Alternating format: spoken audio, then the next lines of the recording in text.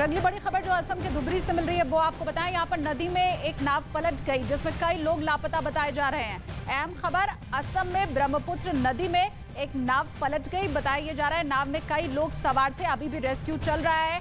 करीब 30 लोग डूब गए हैं इस हादसे में और इन लापता लोगों के लिए लगातार तलाशी अभियान चलाया जा रहा है। सात लोग ऐसे भी हैं जो अभी लापता बताए जा रहे हैं। तस्वीर इस वक्त आपको हम दिखा रहे हैं ब्रह्मपुत्र नदी और इसी में एक नाव पलट गई। तीस लोग इस नाव में सवार थे और रेस्क्यू ऑपरेशन अब भी चलाया जा रहा है। बड़ी खबर और वहाँ इलाके से जो तस्वीरें मिल रही हैं वो भी आपके सामने सात लोग लापता है जिनके लिए रेस्क्यू टीम अब भी तलाशी अभियान चला रही है। अवैध मकान ध्वस्त किया गया। मिंटू